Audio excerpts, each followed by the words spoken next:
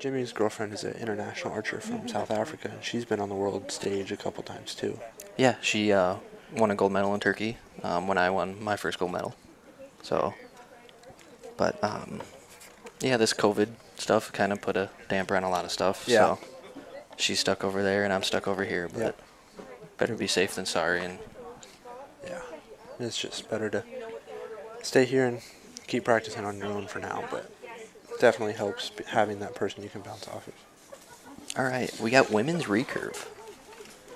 So We've we heard of these names. Yeah, we have Mackenzie Brown and Casey Kaufhold. Mackenzie is the women's Olympian from Rio, and Casey is now the up and comer. She's only 16 from Lancaster, and she just won the indoor finals similar to how Paige did. And so Casey has been practicing a lot lately, really improving and coming up through the ranks. Oh yeah, it, it's been really cool to see. Um, Casey won a gold medal in the mixed team and women's team in the Pan Am Games. Yeah, she, I think, she had the most medals out of all the archers that were there, as far as because she I think had a team medal, an individual medal, and a mixed team medal. That's impressive with Brady being there, you being there. Yeah, it Braden was being there. definitely impressive to see that. It was kind of fun to see her walking around with all that weight around. her. it's definitely cool. And being so young, that's pretty awesome. Yeah. And then Mackenzie and Casey are Mackenzie has been the number one archer in the U.S. for many years, and now Casey has just taken that a little bit. So It's always a good battle every- yeah, this match every will be good. One and two, it's always good to see. Yeah. So Jack, why don't you tell us a little bit about how this recurve match will work? So unlike the compound match where it was five ends of three arrows, 15 arrow score, then 150 is the max score, and however you score against that cumulative, this is what's called set system. And the set system, if you win your that end, you get two points, and if you tie with your opponent, you get one point. And it's a first to six. And you can have a 6-0 match and be done in three or three arrows, or you can have a 5-5 and have a shoot off. So definitely a little bit more oriented towards a throwing, like you know, one person might shoot a good end, then a bad end, and another good end. So it kind of makes up for that. And where set system, or I mean cumulative score, you have to be perfect for all 15 arrows. Yeah. So we'll see how this goes.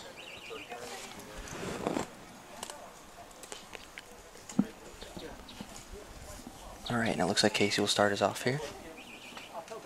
Both shooting a Hoyt.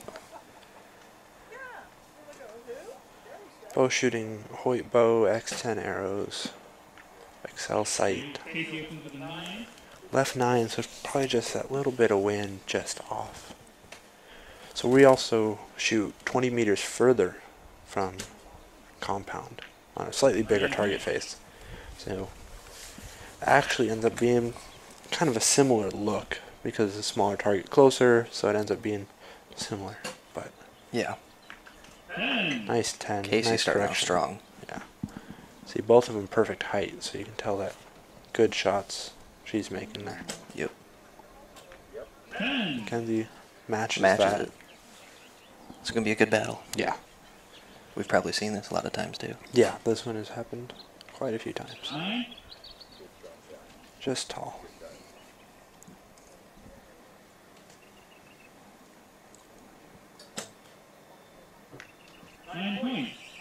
Both. So they're gonna share the set points there. Yeah. One to one.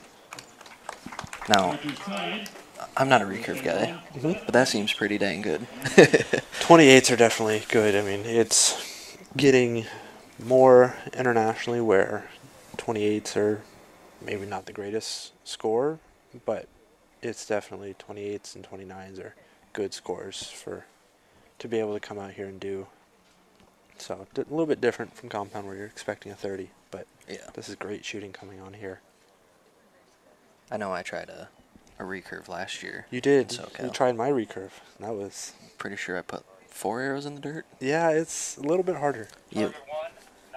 It's a lot more of a form sport and a technique based where compound is more execution and aiming. Yeah, definitely. It was definitely a, a workout as well. Yeah. So compounds, most of the guys I would guess are shooting 60 pounds. Yep. The women are probably shooting mm, low, low to mid 50s, Yep. and they also have let off. So after you draw back the bow, it lets off, and then you're holding a percentage of whatever weight you are. Yep. Recurve, on the other hand, is no let off. So you're holding that weight the whole time. So I would guess these girls are probably shooting about low 40s Okay. pounds, but the entire shot. So at full draw, you're holding 40 pounds. Some of the guys are shooting between 48, maybe low 50s mm-hmm. with no let off. So it's definitely Yeah, that's. A workout. I mean, my bow's 60 pounds, but with my let off, I'm it's nine pounds holding weight. Yeah. So that's a huge difference. Two right nines to start off for these I girls. wonder if they're both aiming off and they both just didn't get pushed by that wind. The target flags don't look to be moving too much. Yeah, definitely looks like it's been moved down. That is on the 9 8 line. See if Mackenzie can take advantage. Mm-hmm. I'm guessing both of those hit right behind where she was aiming, so the wind picks up, which it seems to be doing a little bit. It's a good 10. Good correction. Now, Mackenzie didn't move her sight, so I'm assuming she was aiming off a little bit to the right. My guess is now she's gonna aim in the same spot, and the wind's gonna carry in the middle. I know, right nine. Just right nine. Good group. Casey will win the set points for that. Yeah, so now it's 3 1. So even though Casey, if you look at it cumulatively, is up one point, she's actually up two set points because of the way it works. So it's very, just a little bit different way of scoring a match. Yeah. So Mackenzie is a resident athlete with me at the Olympic Training Center, which is where this tournament is being held. We have a 70 meter indoor building and a 70 meter outdoor range and a bunch of other areas we can shoot in those buildings. And Casey is actually from Pennsylvania, and she has her own range that through Lancaster Archery, and she trains there pretty much full time too. So both these archers are full time archers.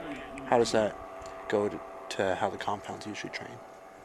Um, a lot of the compounds that have compounds are full-time archers. Um, it's compounds a little different. We don't have the Olympics and stuff like that. Um, I wish we did. That'd be pretty cool. But yeah, maybe someday. so we everybody basically trains um, at their local club, Yeah. or uh, if they're lucky enough to have something at their house that they can train A at. little backyard target. Backyard target, out of the garage, into the yard, you know, stuff Yeah. like that. All right, so Mackenzie's starting off first here.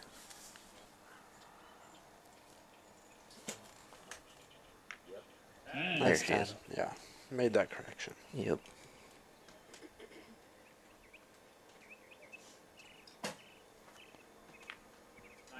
It's on the left side there.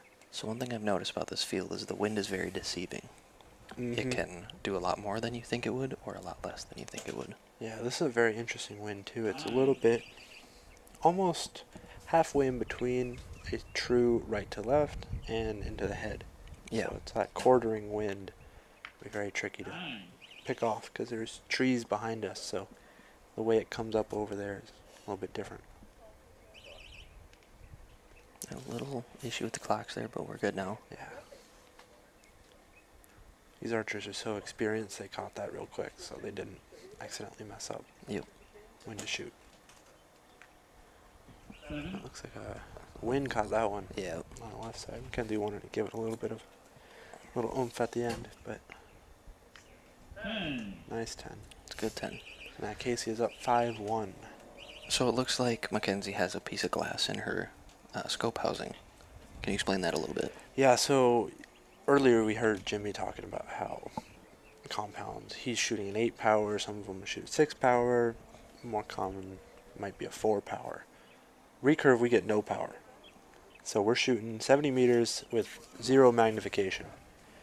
And you can kind of pick whatever you want in that glass, or if you even want glass, there's open ring. I think Casey's shooting just open nothing. But you can kind of pick if you want a dot, what size dot, that's about it. So Mackenzie is shooting a clear target lens with, I'm going to guess, probably a 1.2, 1.3 millimeter dot, maybe a little bit bigger. And that dot you size. Most people pick right around the size of the gold, Okay. and it just covers up that gold and helps you aim. Casey, on the other hand, is shooting an open ring, so that sight might have almost the whole target in the picture, and you're just focusing on centering Okay. and keeping that center driving towards the middle, and that tends to break in the middle. That's interesting. Yeah, coming from compound and shooting high magnification, Yeah. it, when I tried different. recurve, it was a whole different sport. Yeah. It was crazy. And along with that magnification aspect, you also have the peep for compound, so you can have something to look through and line up with. Recurvers, we don't get a peep. It's a good So 10 what- for Mackenzie there. What we end up doing is lining up the string, because we can see the string, with some part of the bow.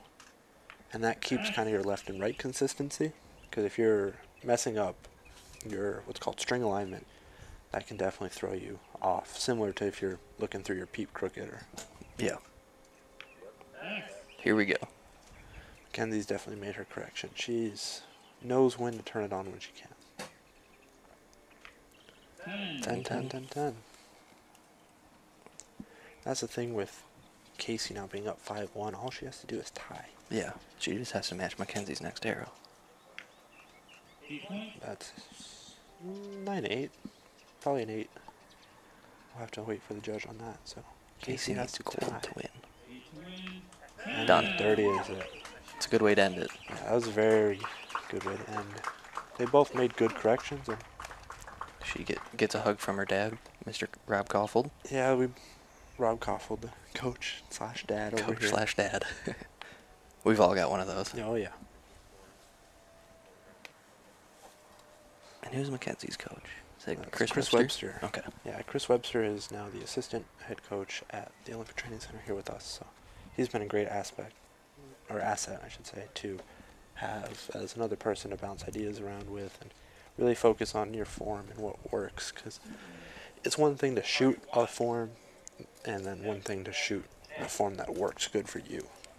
You Definitely. You can, you can try all these different things, but if it's not working for you, it still won't work.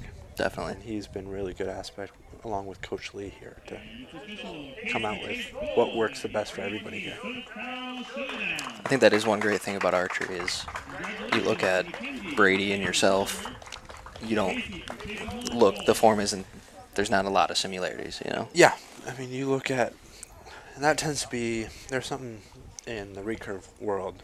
There's a couple different ways of shooting. There's NTS, which is the way we push here in the U.S., and that's um, Coach Lee's method.